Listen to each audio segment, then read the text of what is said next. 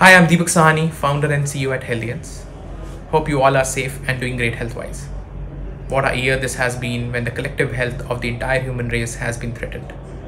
The new normal has pushed us to the wall and is affecting our lifestyles and health regimes. In such a situation, let's not put our health to the backseat.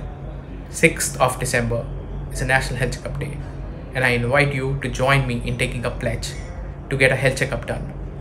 Our health is in our hands, and let's pledge to take charge of it. Thank you.